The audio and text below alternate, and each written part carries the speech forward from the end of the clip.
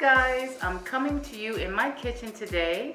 I am participating in the quarantine cooking at home with me.